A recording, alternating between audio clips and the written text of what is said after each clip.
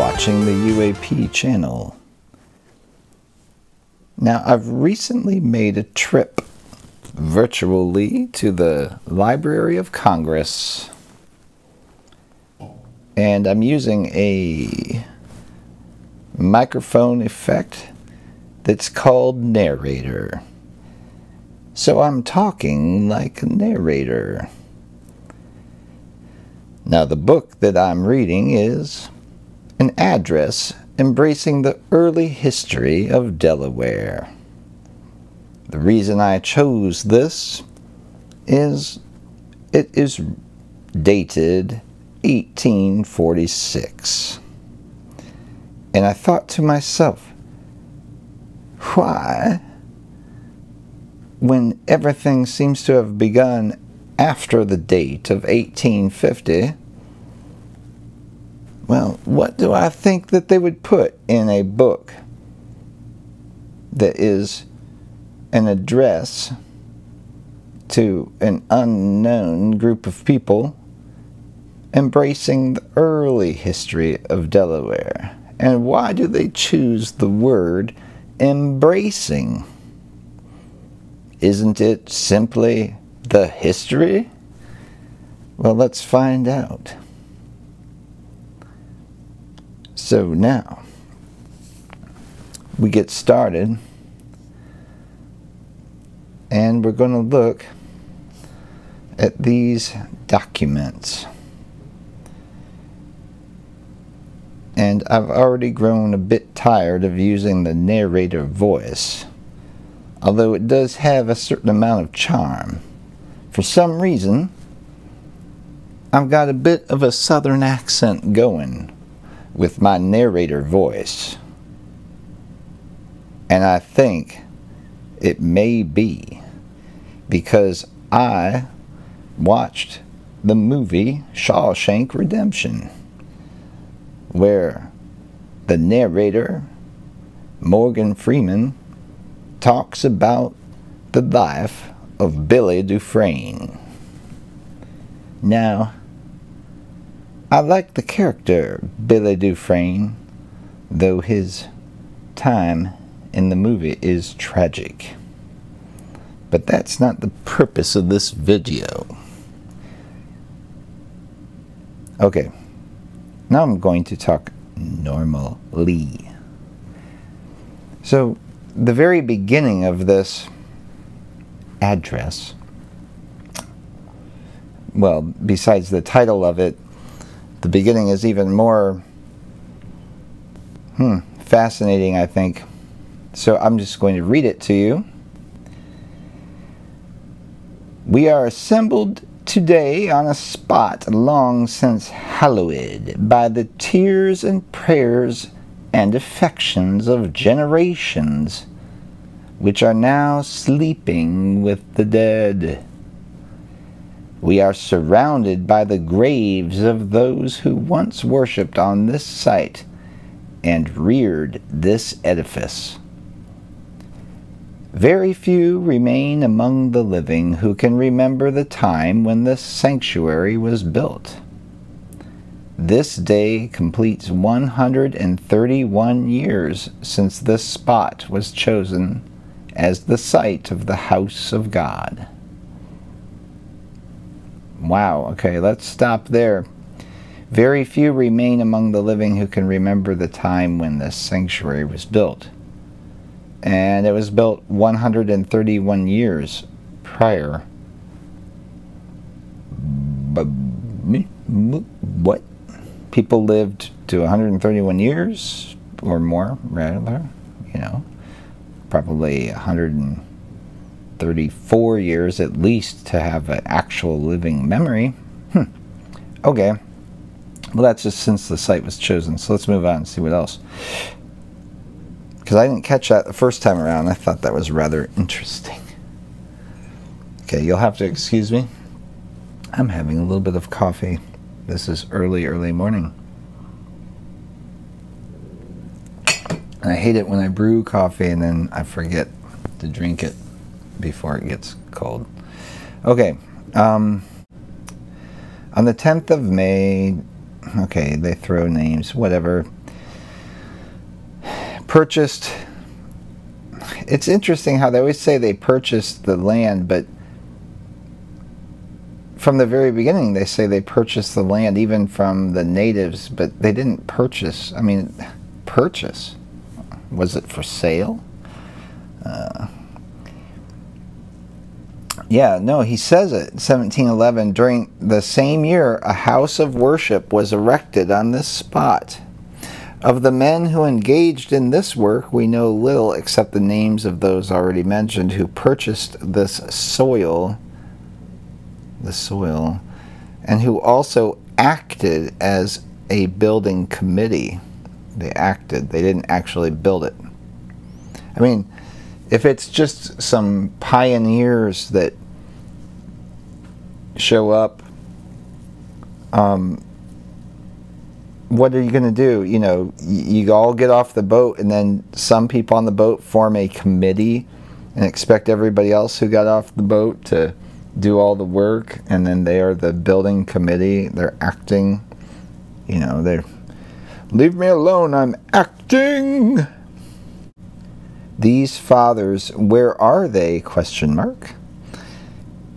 No one, no, or I mean, not one of the men who reared the former house, not one of those who ministered at its altar and within its walls, and not one of all who worshipped there survives. Yeah, it's been a. They would have been adults 131 years prior. So, okay, this this is either some people's lifespans were different, they can't do math, or they're even worse off in intellectually speaking. If they can't put that together. The very materials of that house of God are moldered back to dust. Oh, okay. Unfortunately for their successors, no record of their transactions prior to 1732 remains except a solitary fact which was copied from the deed of this property and incorporated in the inscription for the erection of this house. Okay, so it's a different building then. It is a mournful reflection that the memory and the very names of most of the early worshippers on the spot have perished. Okay, whatever. Whatever of wealth or honor they gained, whatever of piety and devotedness they exhibited. Let me zoom in here. Oh man, this thing is touchy. They have all been forgotten, and the clods, is he referring to them as clods? No. And the clods once heaped over their graves no longer mark the spot where their ashes repose. Okay. Um, so clods, he's not calling them clods, he's talking about dirt. And so the could be the dirt heaped over their graves See, this I found interesting because if you dig a grave, you fill the grave, right? I don't think the English language has changed so much that this wouldn't. I mean, this is the only way I can interpret this. To me, they had their graves dug and filled, and then he's saying clods or earth or dirt or mud, whatever, heaped over top their graves, over their graves, over the grave markers, the gravestones, the spots. Okay? And then I think it's interesting that he says, where their ashes repose. Repose is to lay in a state of per perpetual stillness, right? Usually it would mean dead. Um, but ashes, now, it, it's odd that it would be ashes. I mean, I know, okay, so create cremation is a thing. I don't really care for it. I, I think it muddles up history. I don't think cremation is the right way to deal with all this. Uh, but nevertheless, if you have ashes, then they put the ashes into a grave and then they heap clods over top of it or something happened. So I'm thinking like the reset event type thing would fit this description so far. Let's move on. How many warnings and appeals have been uttered on this spot? How vast the influence of truth on the minds of generations which have successfully worshipped here. Okay. How many immortal spirits have gone hence to the bar of God to receive their final doom? Hmm. I don't know what he means by bar. Oh, could the departed speak what scenes of seraphic joy and of keen and hopeless despair would the former worshippers on this spot disclose? Hmm. But the tomb from which no message ever comes holds them all in perpetual silence till the day of doom shall arrive. How solemn the thought that when an equal period of time shall have passed away, others will hold our possessions and succeed to our places in society and in the sanctuary, while death will feed on us the clods will cover us, and the very names of many of us will be unknown except in the records of eternity. Hmm. So that could be interpreted both ways. Um, I find it interesting that he says, How many immortal spirits have gone to God to receive their final doom? what scenes of seraphic joy and of keen and hopeless despair hmm. would the former worshippers on the spot disclose? Mm, okay. It seems kind of bipolar to me, the way that's described. And then he says, um, but everything, practically everything about them is held in silence until the day of doom shall arrive. Hmm. Okay, he's talking about final judgment, I believe. How solemn the thought that when an equal period of time shall have passed away, others will hold our possessions and see, succeed to our places in society and the sanctuary, while death will feed on us. Ugh. And the clot. So, okay and many of us will be unknown except in the records of eternity. Well, see, that doesn't really make sense because don't they expect to have like family histories? Don't they expect to have, you know, church records of births, baptisms, confirmations, marriages, divorces, you know, remarriages and and you know all these things and then like professional accomplishments, things, you know, positions within the Congress, whatever, you know, their names, and then things like that would continue, wouldn't they? Unless they were privy to some kind of a reset cycle. To this place where your fathers worshipped, while many of you look back as a spot where truth pointed by the Spirit of the Eternal reached your heart and led you to God and hope and heaven, or where the Savior's call was unheeded and salvation spurned and your ruin sealed. Okay, so maybe he's just talking about like here you hear the gospel and you believe it or not. And if you don't believe it, then it's your doom. And then if you do believe it, then you're led towards, you'll be you're on your way to God and um, and seraphic joy. Is that what he said? Yeah. So, seraphic joy. Hmm, okay. Um,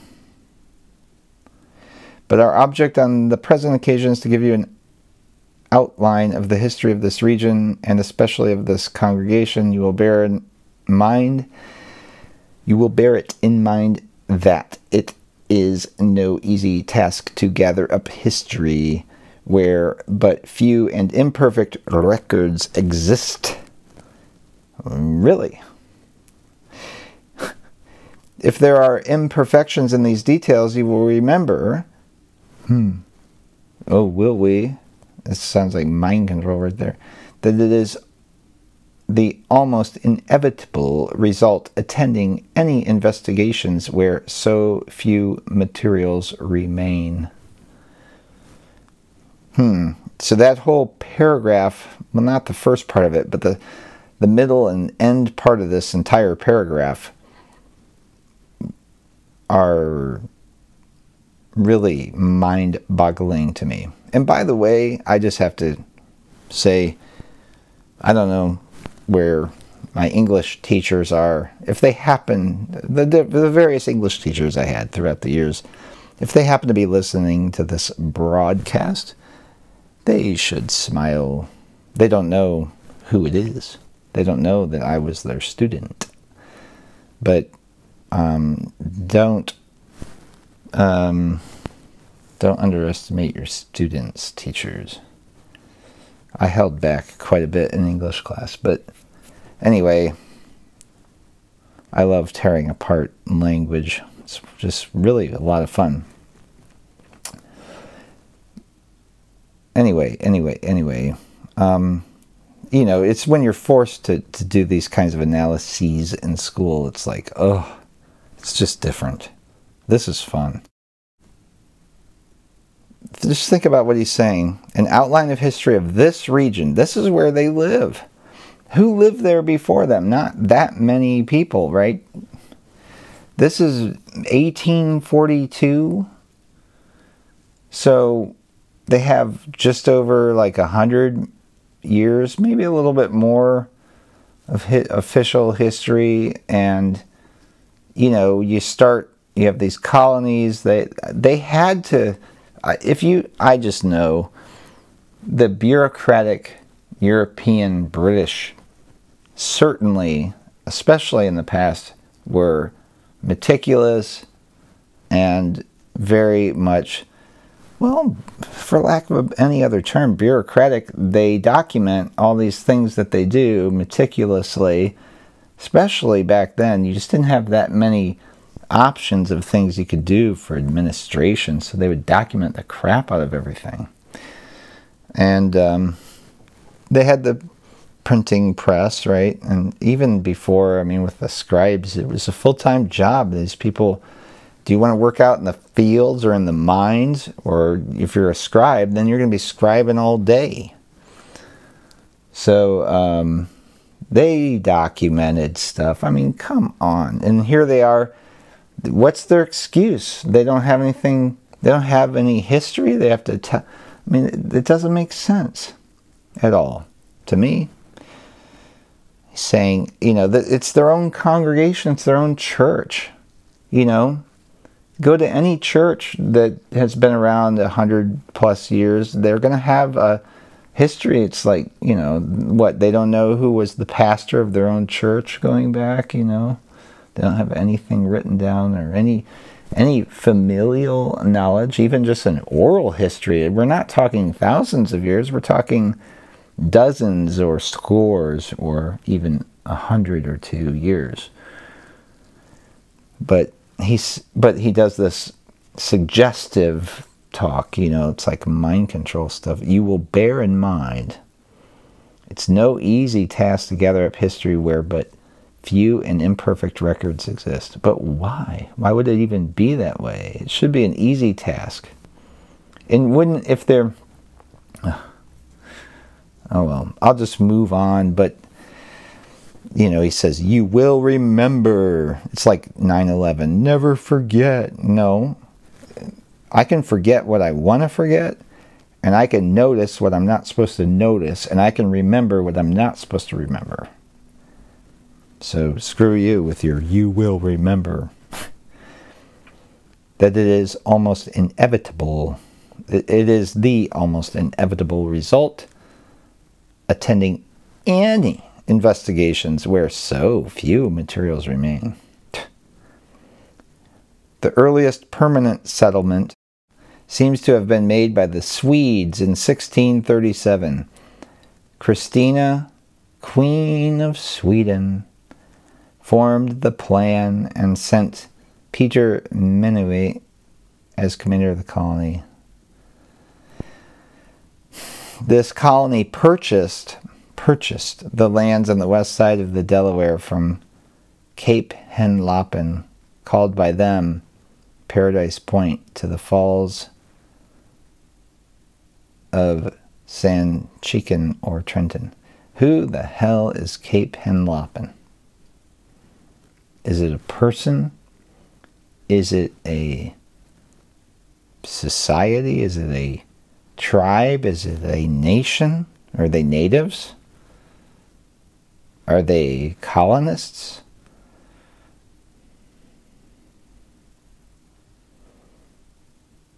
I mean, who did the Swedes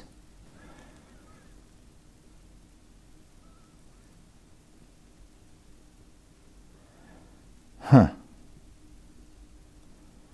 Prior to this date, the Dutch were in possession of the lands on the eastern side of the river. Minuit soon died, and Peter Hollander succeeded him. The seeds, or the seeds, the Swedes planted seeds. They settled on the Christina Creek, or Crick, or Crack. Some I, I don't know. I don't know why people say crick. It's a creek. So when people say crick, then I say crack. So um, so we're we were talking about the Swedes, and then we talk about the Dutch, and in the um, they're talking about all this Christianity and gospel and purity and in close combination with the New Haven colony and all their fundamental articles and under the jurisdiction of the settlements, da da da da, then they both are, quote, taken under the protection of the legislature of the United New England colonies, which I have, that's a term I've never heard. As a United States well, citizen. I uh, United. I I'm really a a citizen of a particular state. But anyway, um,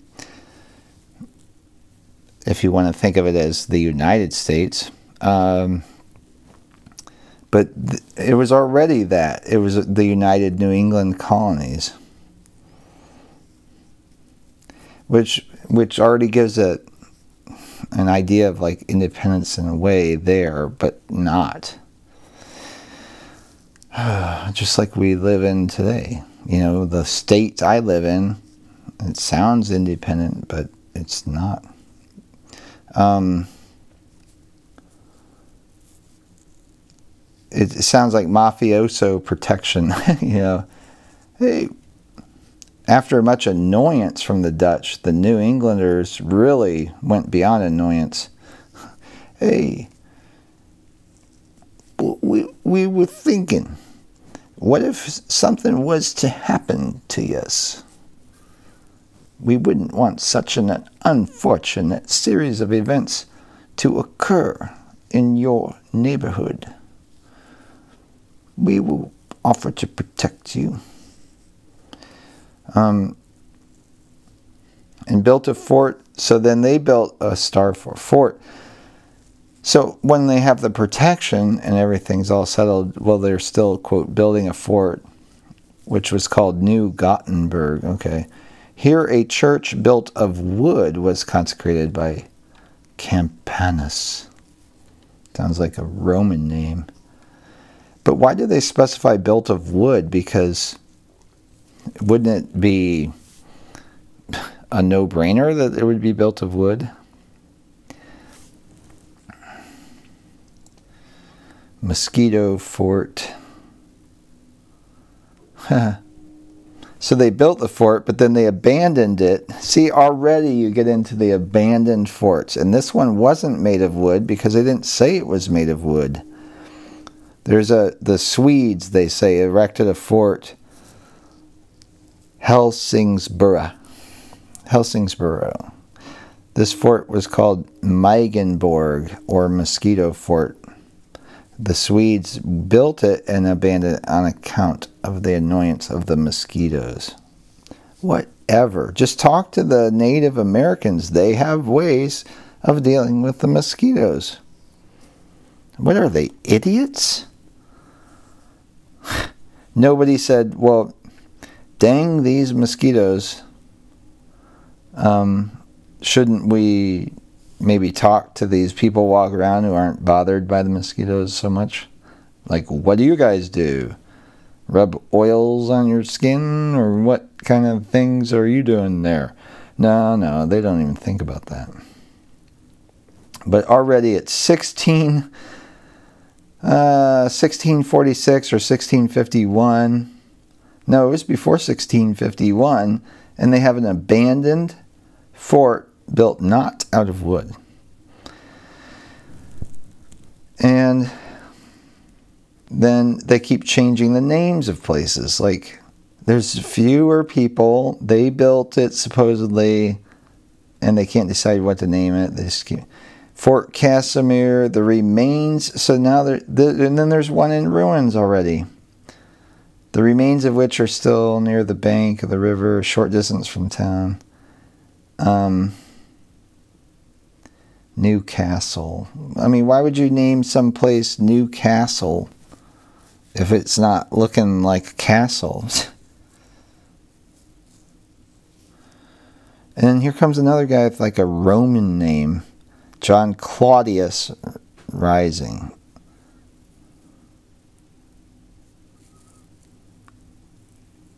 Huh who afterwards became governor of the colony.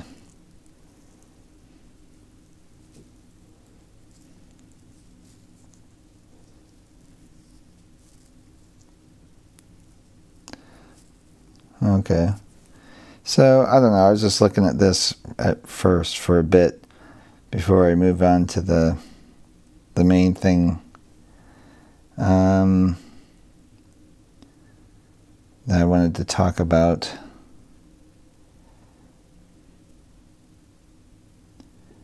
But I just find it fascinating just to read through this stuff. Um,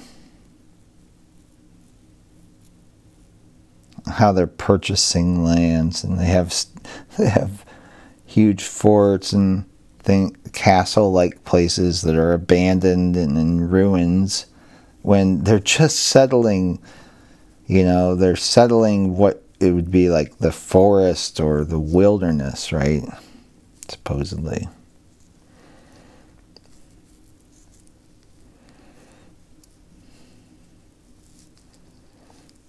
Hmm. And they just talk about purchasing lands, and then the the lands are called like like new this city or new castle you know it implies the implication is that there's already a city there or a castle there.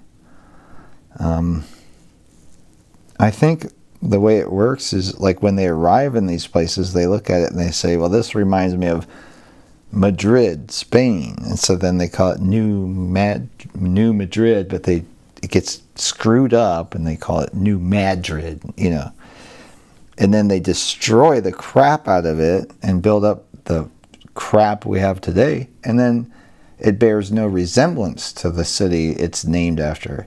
It never made sense to me. It never made sense why these towns and cities and villages in the Midwest and in Texas and almost like all over New England, they're named after towns or cities and areas in Europe, but they bear no resemblance to those places. You know, why would you why would you name something new? Uh, you know, new. What was it? New. Uh, Newcastle if it didn't have a castle, or New York if it didn't resemble York. It just doesn't make sense to me, uh, except when I think about or realize that it probably did resemble Madrid or Paris or whatever um, before it was totally destroyed. Okay, so uh, let me show you. Just made me think of something. So, okay, I'll just stop here and I'll show you something else.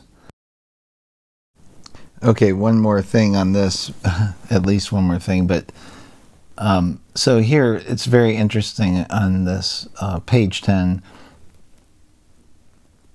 So here's uh, some story they're telling in the the Dutch and the Dutch Swedes and the Fort Nassau and 15 leagues and whatever purchased lands from the Indians. And apparently the Indians had put up for sale signs I'm not sure if they used real estate brokers. Um, you know, if they list the properties by acreage in the MLS system, um, you know, the multiple listing system and uh, how they pay their commissions on sales, things like that. Um, but anyway, uh, did the Indians have deeds drawn up and whatever? Um, but here, the, here comes some BS. I can just sniff out these BS stories so quickly. Um, during the attempt of these ambassadors at negotiation, the governor and council of Maryland presented them a copy of Lord Baltimore's patent. The ambassadors very shrewdly alleged that His Royal Majesty of England had granted to Lord Baltimore lands which had not been seated and taken up before, only inhabited by a certain barbarous people, the Injuns. And they bought it. oh my gosh.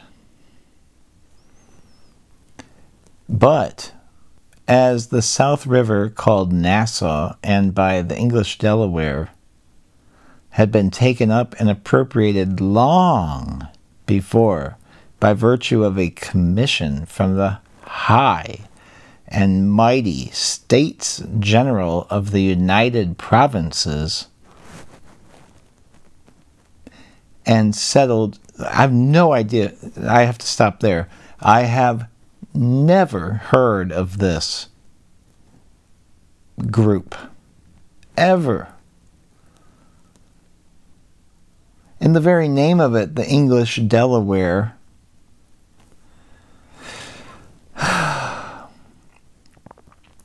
but they're admitting that it was inhabited by a previous civilization. Right here, they're admitting it. Well, they're saying that it was inhabited by Europeans, but that's not true. Here, just let's I'll just read it, but bear in mind that as I read it here, I have no idea who this is even supposed to be. The High and Mighty States General of the United Provinces. Whatever. Okay, so I'm just going to read on, read it. Okay. But as the South River called Nassau and by the English Delaware had been taken up and appropriated long before by virtue of a commission from the high and mighty States General of the United Provinces and settled not by Indians, aka Native Americans, but by a Christian people. Parentheses, Native Americans, also called Indians in error, can be Christian people, but whatever Okay, I'm just going to try to read it without interrupting myself. By virtue of a commission from the high and mighty States General of the United Provinces, and settled not by Indians but by a Christian people, that therefore the grant of Lord Voldemort, Voldemort, Baltimore, Baltimore, Lord Baltimore could have no reference to Delaware.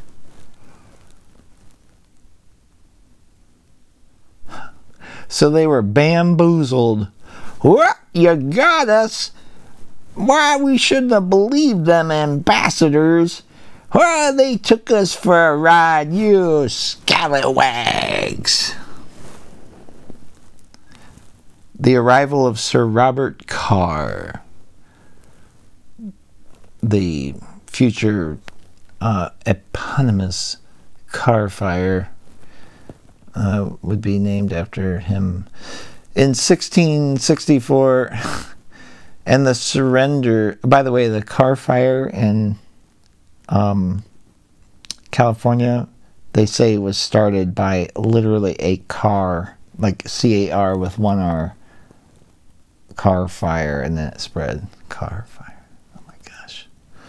It's just the layers of ridiculousness. The arrival of Sir Robert Carr in 1664 and the surrender of the Delaware to the forces under his command put this claim of Lord Voldemort, Baltimore, Lord Baltimore at rest until the arrival of William Penn. And William Penn shows up. What the hell? Why, you scallywags. What kind of skullduggery is going on around here? Then the claim was renewed. The Duke of York was now James II, King of England, and this claim was referred to a committee on plantations. If you're lost, join the club. In November 1685, this committee reported that the land granted to Lord Baltimore, Baltimore, Lord Baltimore, who names their child Lord? Their first name is Lord.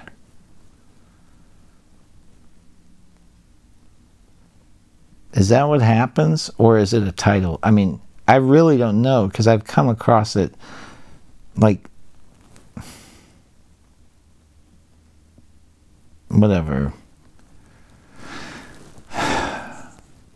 You know, Jermaine Jackson of the Jackson Five allegedly, you know, named all of his children in some form of Jermaine. So the girls have kind of peculiar names, but the girls, because he had a lot of kids. It's like George Foreman named all his children George, Georgina, Georgie, Georgery, and all those things. But uh, Jermaine Jackson named one of his children Jermajesty. So here, finally, we get to the truth of the matter where they describe the situation as they found it, which I've been saying now for quite some time.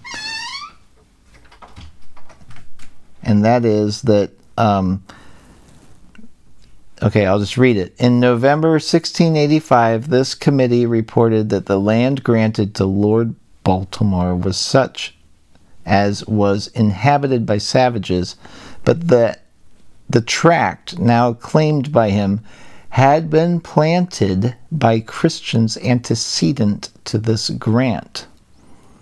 But to avoid all difficulties on the subject, they decided that the peninsula should be divided into two equal parts by a line drawn from the latitude, whatever,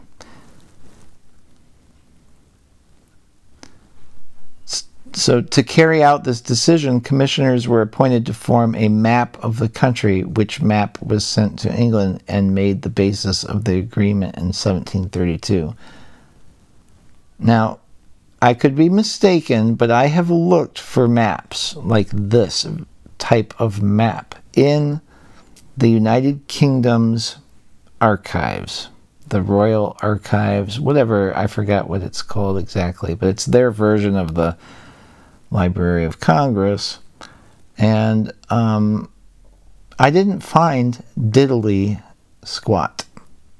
You know, you go back to around again 1850 and then the records become first of all they they cease to be actual photo records of a document that was written by a scribe on a scroll or printed by a printer on paper it's not a, like before 1850 you're not getting scans or photos of actual documents that would resemble, like, let's say, the Declaration of Independence, right? It just becomes where it's just a record that they have. It's it's a if anything, it's just PDF text that was typed in on the digital database, but then the record itself referenced is a record, not the actual original document. Do you know what I mean? It's a recreation. It's a a printing. It's a summary or a maybe not a summary, but just a replication. I just found that fascinating. You know, so if you go and look for this map, you're probably not going to find it. And the reason is the map will show the city laid out uh, like it is today. Now in New Zealand, I, in Christchurch, well, it was was it Auckland for sure, and I think Christchurch as well. I found the surveyor's maps from around 1840, and it showed the cities in their complete, like almost as they are today. Eh, I mean, the old part of the city with all the nice architecture was all there. And that was before the first boats arrived. So how did they explain that? Well, you could watch my video about, well, a couple videos I made about New Zealand and in Australia is the same thing, and South Africa is the same thing. But mostly I focused on, um, I think it was Auckland, New Zealand, and uh, although the video may be titled Christchurch, it's both. But they said, oh, well, that was the surveyor's planning. So the surveyor is looking at supposedly, you know, native lands, you know, just walking through forests and, and, and tall grass and stuff like that. And then he's just planning out, you know what, uh, I think a nice nice castle like cathedral goes here and a big huge government building goes there and the street will go here and there will be drainage and there will be canals here and there's got to be a bridge here and all these different things that he does. And guess what? It gets built in two or three years exactly to his design. What a genius my gosh. He's like the the city planner's city planner. You know, like he he's a, a legend among city planners and just a surveyor. You know why? Just what I was talking about here on page 12. Here we go. On the 9th of November 1768, the Commission ratified their map and plan of surveys and divisional lines embracing according to the decree of Lord Hardwicke the Chancellor. All the articles of agreement made in 1732. Um, so they call a plan, and I could be wrong, but when they call a plan, they really do have what is supposed to be a plan on there, which is a detailed map of the roads, the buildings, the drainage ditches, the canals, the bridges. It sometimes it goes into such detail as saying like how much clearance is under the bridges for boats and things like that. All built up basically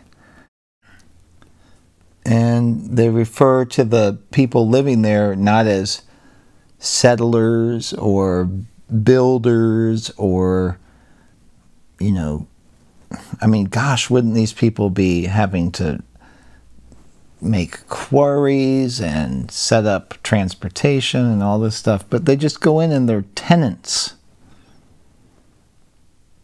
They're, cl- they're claimants. They claim, they're founders, tenants and claimants. Um, and they purchase the land from these groups that I've never, they acquire the lands from these established groups I've never heard of. Let's go back to page 11 and see what that was called. Um,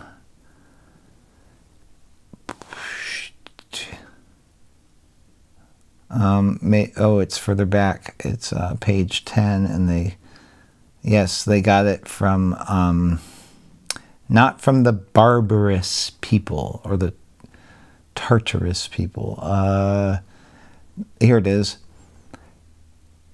They got it, or it had already been taken up and appropriated long before by virtue of a commission from the high, this is all capitalized, the high and mighty states general of the United Provinces, and settled not by Indians, but by Christian people.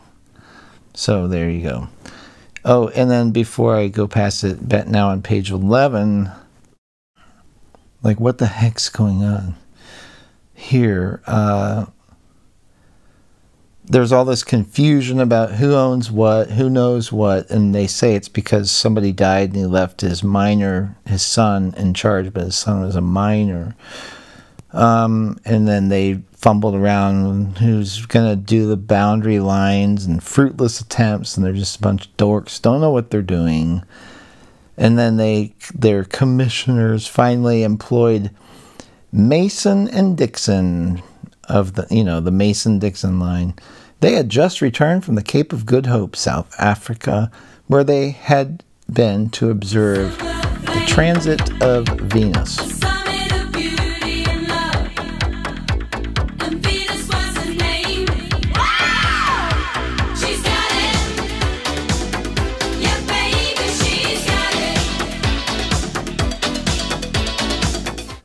Okay. Because they didn't know how the stuff worked down south yet, apparently.